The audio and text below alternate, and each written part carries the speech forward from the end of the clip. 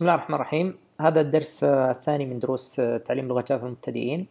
طبعا الدرس السابق آه، قمنا بكتابة برنامج my سلام program ويقوم بطباعة السلام عليكم. هذا هو برنامج. ورأينا أن كتبت أنه الخطوة لكتابة برنامج ثم حفظ الملف ثم عمل compile في ال terminal آه، ثم بعد ذلك تنفيذ الخطوة الثالثة عمل compile ثم الخطوة الرابعة تنفيذ البرنامج. آه هذا طبعا آه, رسم للخطوات اللي قمنا فيها. هو أولا كتابة الجافا كود برنامج dot جافا ثم بعد ذلك استخدام برنامج جافا C ال compiler حق جافا. ثم بعد ذلك استخدام برنامج جافا virtual machine اللي هو طبعا ال javac راح يعطينا ال byte code أو ال dot class وهو آه، ملف غير مفهوم بالنسبة لنا لو فتحناه لكنه مفهوم بالنسبة ل Java Virtual Machine تستطيع تنفيذه. ثم بعد ذلك Java Virtual Machine Java Virtual Machine أو آلة جافا الافتراضية راح تقوم بتنفيذ البرنامج. آه وميزة جافا طبعا آه مجرد أن وجود عندنا البرنامج هنا ما نحتاج نسوي أكثر من عملية compile آه لكل operating system نسوي عملية compile واحدة وبعد ذلك آه Java Virtual Machine هي اللي راح تتكفل بتنفيذ البرنامج هذا على أي operating system سواء ويندوز أو لينكس أو الماكنتوش أو غيرها من ال operating systems مثل الاندرويد مثلا في آه، الجوال. هذا طبعا عكس لغات أخرى مثل لغة C أو لغة C plus plus واللي فيها نحتاج إننا لما نكتب ال source code نحتاج ان نسوي compile مختلف لكل machine آه، لكل operating system آه، نعمل عليه. طيب في الدرس هذا راح يكون عن كيف تسوي installation للجافا كيف تثبت برنامج جافا. طبعا للأسف ما عندي ويندوز فبحاول يعني قدر المستطاع إني أشرح آه لكن موجود عندي جهاز ماكنتوش. آه آه قبل ما نتكلم عن عملية التثبيت أبغى أشرح بس بشكل سريع عن مكونات الجافا أو يسمونها جافا Platform Standard Edition هذه يسمونها JSE جافا J 2 SE هذه الكلمة المستخدمة. آه، خلينا نكتب الكلمات حتى نحفظها. آه، حتى تكون واضحة. طيب في في عندنا J J 2 SE اللي هي Java 2 Standard Edition اللي هي جافا ال version 2 Standard Edition اللي هي ال edition ال standard وليست الخاصة بالشركات في enterprise uh, edition طيب فهذا J 2 SE اللي هو ال Platform Standard Edition طبعا يكون لها version يكون في 5 في 6 في 7 الآن موجود حتى 8 فتلقى يكون ال version 8 أو 1.8 على حسب يعني. طيب هذه الجافا هذه آه وش موجود فيها؟ حتى بس نفرق بين في شيء نسميه ال Java Virtual Machine وهذه هي ال Java Virtual Machine تلاحظون هنا هذه فقط الجزء الأزرق هذا هو ال Java Virtual Machine ال Java Virtual Machine هنا اللي هي آه آه آلة جافا الافتراضية. معنى آلة جافا الافتراضية Java Virtual Machine أو نختصرها JVM فنختصرها ال JVM اللي تساوي Java Virtual Machine ومعناها آلة جافا الافتراضية وهذه هي اللي تقوم بتنفيذ آه الأوامر. زين لما لما نكتب الأمر java لما نكتب الأمر هنا java زين فإن هذا الأمر يقوم باستدعاء ال Java Virtual Machine لكي تقوم بتنفيذ الأوامر. زين فعندنا إذا ال Java Virtual Machine غير ال Java Virtual Machine عندنا شيء يسمونه ال JRE Java Runtime Environment اللي هي هذه الجزء هذا. زين الجزء هذا كله أبي أكمله من الأخضر هنا إلى الأزرق. هذه ال Java Runtime Environment اللي هي JRE Java Runtime Environment زين اللي هي بيئة عمل جافا أو بيئة ال runtime الخاصة بجافا زين وهي بكل بساطة هي تحتوي ال Java Virtual Machine اللي تقوم بتنفيذ ال byte code. بالإضافة إلى عدد كبير من ال libraries زين وال libraries اللي هي عبارة عن برامج آه، مساعدة لنا. مثل مثلا لما نستخدم system.out.println اللي استخدمناه في المرة السابقة هو في الحقيقة استدعينا مجموعة من ال libraries أو مجموعة من البرامج الموجودة في ال input وال output زين فال system.out.println قمنا باستدعاء مجموعة من البرامج الموجودة هنا. طبعا ما يهم يعني مو مهم جدا إنكم إنه إنه إنه الشخص يفهم يعني هذه الاشياء بالتفصيل ولكن فقط حتى ما يتلخبط لما يدخل مواقع يحاول ينزل جافا حتى يكون على واضحه له بالنسبة له الصورة عن الأجزاء المختلفة. فما يتلخبط. طيب اذا بعد عندنا ال Java Virtual Machine JVM عندنا ال JRE Java Runtime Environment وهي تحتوي ال Java Virtual Machine زائدا ال libraries زين. وعندنا ال JDK Java Development Kit عندنا JDK وهي Java Development Kit زين وهي حزمة تطوير جافا. حزمة تطوير برامج جافا. وال JDK هي تحتوي بالإضافة إلى إلى ال Java Virtual Machine وال libraries الخاصة بالجافا تحتوي على البرامج مثل javac ال compiler حق الجافا آه، وال documentation حق الجافا أو التعليمات لغة جافا وبرامج أخرى. وهي طبعا آه، آه، مهمة للمطورين. مطورين برامج جافا. فلذلك يهمنا نعرف ال JDK. زين. إحنا راح نطور برامج جافا بإذن الله فلذلك يهمنا نعرف إنه راح نستخدم أو راح نحتاج ال JDK زين. آه بالنسبة للناس اللي يستخدمون برامج جافا فقط يعني ينزلون برامج جافا ويشغلون على أجهزتهم بدون ما يكونوا مطورين لا يحتاجون إلا ال JRE فقط. زين. اللي هي ال Java virtual machine مع ال libraries بالنسبة لنا كمبرمجين آه لغة جافا نحتاج ال JDK وليس فقط ال JRE زين. طيب آه, آه، من وين ننزل البرنامج الجافا؟ طبعا ما راح ننزل عندك خيارين دائما. يا إما إنك تنزل طبعا من موقع أوراكل من شركة اسمها أوراكل زين. عندك خيار إما إنك تنزل ال JRE أو تنزل ال JDK. زين. فإحنا طبعا ننزل ال JDK حتى يكون عندنا ال javac بالإضافة إلى آه ال Java virtual machine زين. طبعا هذا هو هذا هذا موقع الشركة. زين. ومن هنا ال download اللي هو آه، ممكن تبحث في جوجل Java download Java مسافة download زين. آه، راح راح يطلع لك هذا النتيجة الأولى. طبعا نبغى ننزل Java SE اللي standard edition زي ما قلنا.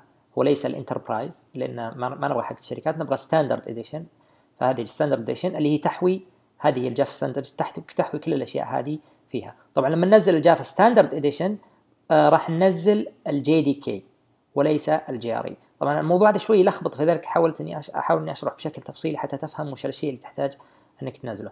فإذا من هنا أروح Java SE download فبعدين هنا Java platform JDK طبعا ممكن تنزل version 8 أنت على راحتك يعني في 8 في 7 آه زين آه فآخر شيء نازل 8 آه فنضغط هنا على ال download زين اللي JDK اللي هي Java SE development kit ال version 8 أو الإصدارة الثامنة. طبعا تختار من هنا أول شيء تختار لازم accept إنك تقبل. بهذا هذا شيء مهم جدا ولا ما راح يسمح لك. وبعد كذا تختار ويندوز زين؟ ومهم جدا إنك تختار هل ويندوز اللي عندك. ويندوز آه بغض النظر هل ويندوز 8 ولا 7 ولا ويندوز إكس بي هل الويندوز اللي عندك 64 bit أو 32 bit للأسف طبعا ما أستطيع أني أمدك بالتعليمه هذه لكن غالبا الأجهزة الجديدة آه آه تكون 64 bit زين؟ أهم شيء إنك لما لما يكون الويندوز 64 bit لازم تكون الجافا 64 bit لازم يكون فيما بعد برنامج ال Eclipse راح نشوف فيما بعد يكون 64 bit لازم يكون كل شيء 64 bit زين؟ فاحفظ المعلومة هذه. ولازم أنت تعرف إذا كان جهازك أو الويندوز اللي عندك 64 bit أو 32 bit غالبا الأجهزة الجديدة خصوصا ويندوز 8 آه، يكون غالبا تكون 64 آه، bit زين فاذا هنا الفرق بين التنتين. هذا 32 bit زين بغض النظر عن المكتوب هنا وهذا 64 bit تختار واحد منهم وتسوي له download لما تسوي له download طبعا راح يكون عندك setup آه، عادية يعني زي زي زي زي أي برنامج ثاني. راح أشوف الفيديو هذا بشكل سريع. آه، الفيديو هذا استعرض عملية آه، ال setup زين طبعا دخل على برنامج نفس ما سوينا. للأسف طبعا ما عندي ويندوز فمضطر إني إني أفتح الفيديو. ف آه، طبعا آه، نزل قام بعملية تنزيل الجافا. آه، ثم بعد كذا بعد ما انتهى من من من تنزيل الجافا راح يوريك هنا فتح ال command prompt زين في الويندوز اللي هو سطر الأوامر. ووراك إنه لما يكتب javac زين فإنه يطلع له الكلام هذا javac is not recognized as an internal or external command. معناته إنه javac غير معروف. بينما الجافا معروف. لاحظ انه طلع له. فلاحظ إنه بالنسبة له هو مو موجود موجود عنده ال JRE اللي هي هذه ال JRE الجزء هذا اللي اللي هو الجزء اللي نحتاجه لتنفيذ برامج الجافا بما فيه ال Java virtual machine ولكن ما عنده ال JDK هذه اللي هي ال development اللي فيها ال javac اللي اللي نحتاجه عشان نسوي compile برامج الجافا زين؟ فلذلك اعطاه error لما كتب javac وهذه ال error اللي غالبا راح تطلع لك لما تحاول في الويندوز أو أو حتى في لينكس أو الماكنتوش آه لما تحاول تسوي javac زين؟ فإذا لما طلعت ال error يوريك إنه ما هو موجود عنده. آه بعد كذا آه لما انتهى من عملية ال download آه آه بدأ ال installation طبعا ال installation سهل next آه next طبعا هو هو لاحظ إنه ينزل سبعة وليس ثمانية زي ما شفنا إحنا في في الموقع هنا. كانت الجافا آه الإصدار الثامنة زي ما قلنا ثمانية. هو نزل سبعة. ما تفرق أنت ممكن تختار سبعة أو ثمانية بس ما تختار ستة يعني ستة قديمة شوي. زين. آم آم آه ولاحظ إنه Java development kit JDK زين. بعد كذا بعد ما انتهى من ال من ال ال download راح يتأكد إنه موجود إن الجافا موجودة عنده كيف تتأكد إن الجافا صارت موجودة عندك؟ لاحظ إنه تروح كمبيوتر local disk اللي هو C program files تلقى فيه شيء اسمه جافا مجلد اسمه جافا تحت مجلد جافا تلقى شيء اسمه JDK بالإضافة لل JRE. غالبا ال JRE تكون موجودة مسبقا لكن راح راح تلاحظ وجود JDK زين؟ لاحظوا إن ال JDK اللي عنده 1.7 لأنه نزل الإصدار السابعة. وليست الإصدارة الثامنة. ممكن أنت يطلع لك JDK 1.8 زين؟ وهنا ال update الرقم الأخير هذا 09 هو ال update وممكن يظهر لك هنا آه آه هذا JDK الإصدار الثامنة ال update 20 زين؟ JDK الإصدار الثامنة ال update 20 هذا اللي موجود حاليا أنا لما دخلت على الموقع اوراكل آه لما هو نزله كان عنده JDK الإصدار السابعة ال update 9 زين؟ طيب الآن آه عرفنا وين وين المفروض يكون. يعني هو انتهى من الدول من ال download انتهى من ال installation من تثبيت الجافا. الآن جافا موجودة هنا. الخطوة التالية بعد كذا إنه آه يعرف ال system على آه آه شو اسمه آه طبعا راح يستعرض هو الملفات اللي موجودة وهذه اللي زي ما شفنا javac javadoc آه كثير من الأوامر اللي شفناها هنا موجودة في الصورة هذه. javac javadoc jar كل الأوامر هذه. فراح يوريك إياها. الخطوة اللي بعدها آه إنه آه إلى الآن على الرغم من إنه سوى installation ورجاء انتباه النقطه هذه على الرغم من إنه سوى installation للجافا وانتهى زين لما تسوي installation لل JDK وتنتهي منه لما تروح وتحاول من سطر الأوامر ال command prompt لما تحاول إنك تسوي javac ما زال عندك مشكلة غير معروف. زين فانتبه للنقطة هذه. لا يكفي فقط إنك تسوي installation للجافا لازم الخطوة التالية وهي إضافة الجافا آه اللي عندك. زين؟ والطريقة هي كالتالي آه آه تروح لل system and security control panel system and security بعدين تضغط على system زين؟ بعد كذا آه روح طبعا هو عنده Windows 8 آه خلونا نشغل الفيديو أفضل يعني. خلونا نشغل الفيديو هنا ونشوف من البداية كيف كيف سوى.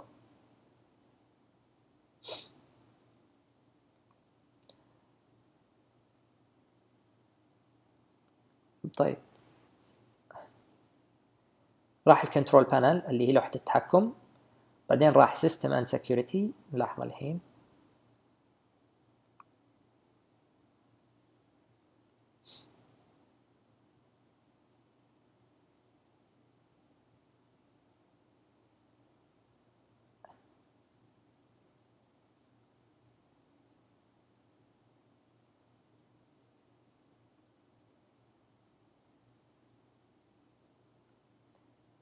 بعد كذا راح يروح للسيستم اللي هو النظام.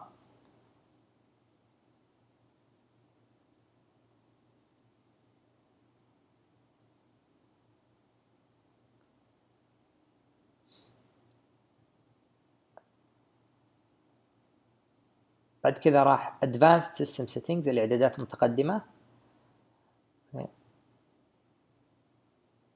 بعد كذا الآن آه راح يروح لل environment variables زين اللي متغيرات البيئة. الآن يحتاج تحتاج هنا إنك تعلم ال Windows تخبر ال Windows وين يكون وين الجافا موجودة. زين خلينا نشوف كيف سوى هو. آه راح يعرف شيء اسمه JAVA_HOME مضبوط. أول شيء يعدل على ال path لاحظوا راح عدل على ال path هنا. زين راح أخذ ال path هذا.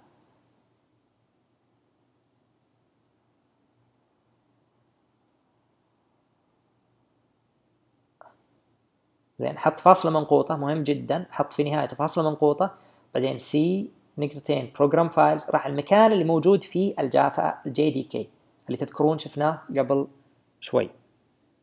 زين هذا هو المكان اللي هو هذا. شفتوا كيف؟ اللي program file C program files جافا.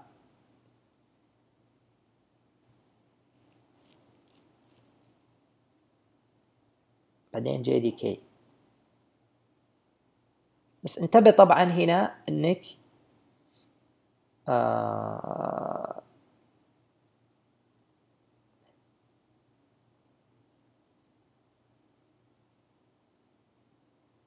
ننتظر شوي.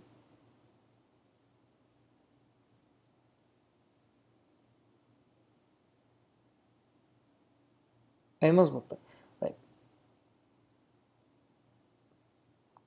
طيب الآن عرف ال path. زين الآن أصبح بإمكانك الدخول لكن بشرط إنك طبعا تسوي يمكن log out احتمال يحتاج إنك تسوي log out نشوف إذا كان نحاول مرة ثانية. أي نعم لا ما يحتاج log out لكن في بعض الأحيان قد تحتاج log out زين في بعض الأحيان قد تحتاج log out أو تسجيل خروج من النظام ثم تسجيل دخول أو تسوي restart إعادة إعادة تشغيل للنظام. وبالطريقة هذه يكون الجافا javac أمر javac شغال معك وتكون ثبت ال Java development kit زين على ال Windows أو حزمة تطوير برمجيات الجافا. شكرا.